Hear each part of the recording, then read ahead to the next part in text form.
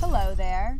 Today we have a very, very, very special guest on Beneath the Beech. President Sean Decatur is here. Uh, it's really, really exciting that you're here, partially because uh, you are the president of the college, and I'm the president of a club here uh, on Kenyon's campus. And I was wondering, is there like a secret president's handshake that you have with all the presidents? There isn't one, but we can make one up. Okay, so like that is good.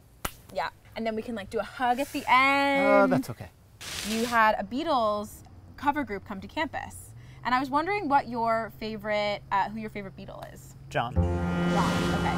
And uh, Sean, don't pass me by. I wanna be your man. I'm really busy now. It's me, the ghost of Ringo. But Ringo, you're not really dead. I know. It's not a good time. Sean, you got a lot of good messages to share. But this is Chase's interview. Tell Chase about the 2020 plan. Maybe we should talk about Kenyon 2020. yeah, I would love to hear about that. So the goal is to make sure that all of our students have um, at least two experiences, significant experiences outside of the classroom, whether it be an internship or study away or a chance to do uh, community-based research in Knox County, uh, but an experience to uh, strengthen what happens done. inside the Well classroom. Yeah. Tell her about your dogs. She's a crazy person.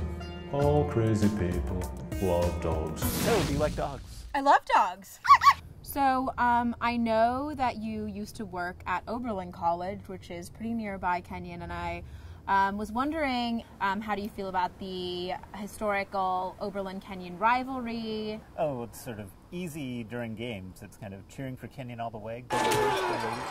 Uh, easy. And then what about, you know, behind closed doors? We can get the Still Kenyon all the way. okay.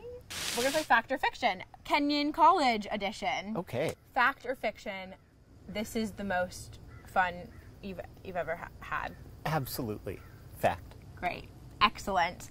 Um, and with that, I would like to thank you so much for being here. Should we do our secret? Should we do our handshake? No, no, no, between presidents.